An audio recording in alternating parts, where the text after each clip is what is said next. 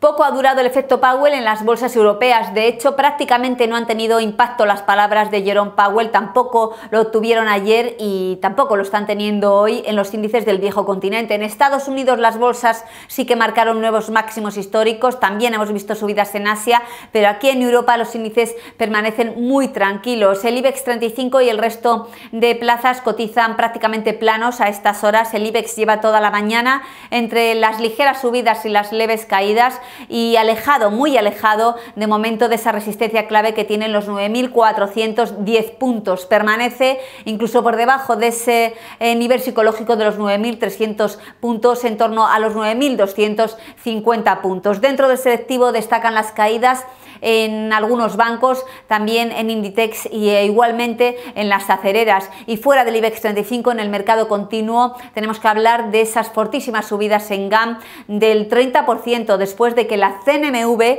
haya intervenido y haya elevado la OPA de Riveras, el presidente de Gestam, sobre GAM desde un euro por acción hasta 1,72 euros. Más cosas importantes, el doble varapalo que reciben hoy las eléctricas españolas recorte de recomendación por parte de Credit Suisse y además Fitch ha situado en negativa la perspectiva de la calificación y ambas han advertido de que esta decisión se debe a la incertidumbre regulatoria después de todas las noticias conocidas en los últimos días y que tantas caídas y tan importantes caídas han provocado entre las energéticas españolas. A estas horas tenemos a los futuros estadounidenses subiendo alrededor de un 0,2%. Al otro lado del Atlántico iba a volver a hablar Jerome Powell, pero en principio va a repetir el mismo mensaje que en la pasada jornada, ya lo saben, ha dejado la puerta más que abierta a un recorte de tipos que se espera que sea de un cuarto de punto en la reunión del